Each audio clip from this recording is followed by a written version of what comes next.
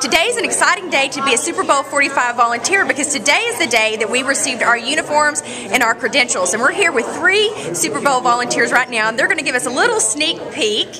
Okay, what day? Sir, what is your name? Kevin Lewis.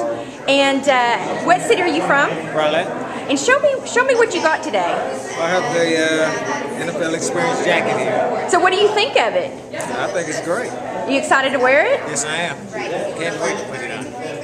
And how about you? What's your name? My name's Cindy Jokum, And what city are you from? Keller, Texas. And what did what do you have? What did you get? I get the bag and the hat that we're working the NFL experience. This is the only thing we're allowed to bring in. And so, um, what are you going to do after it's all over? What are you going to do with your stuff?